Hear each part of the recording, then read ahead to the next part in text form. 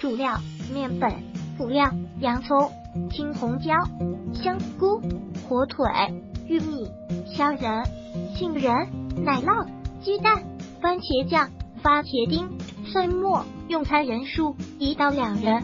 和面团，准备适量面粉，我也是第一次做，所以也是大概估计用量。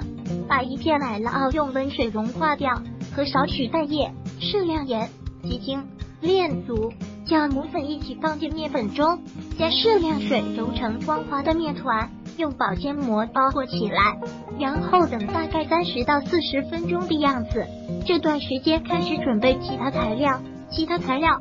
馅料都是可以随意搭配的，看家里有什么就放什么就是了。我用到的材料如下：洋葱、青红椒、香菇、火腿以上都切成丝，玉米、虾仁、杏仁、奈乐奥要多一些，一半切丝，一半切大片。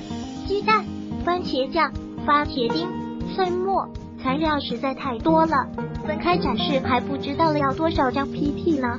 我干脆给他们来张合影，嘻嘻。然后加一点盐，用番茄酱把番茄丁炒熟炒稠，因为怕等下蔬菜烙不熟，所以我先是用蒜末把蔬菜轻轻炒了一下，稍受热半熟即可，千万不要炒老了。如果用专业的萝卜炒香的话，这一步可以省略。等这些准备工作都准备好了后，面团基本上就发好了。嘻嘻，看我的面团竟然迫不及待的从保鲜膜中挣脱了出来。做面饼，把面团再次揉匀且光滑，分成你所需要的小块，然后改成锅底大小的面饼，并在上面用牙签或筷子扎很多小洞，这样是为了一会做的时候受热均匀，容易成熟。我家炒锅就那么大的底，所以我做的当然迷你了。呵呵，还好是电磁炉锅，要是煤气炉用的，那岂不是要做成点心了？嘻嘻，照片还没来得及扎洞洞，锅底抹一层油，把面饼放上去，并用小勺把面饼中间向下按几下，让周围略高。打开火，把火开到你所能开到的最小。我将电磁炉开到了一个灯档。基本上算是保温了，然后先在上面抹一层刚刚做好的番茄酱，再铺一层奶酪丝。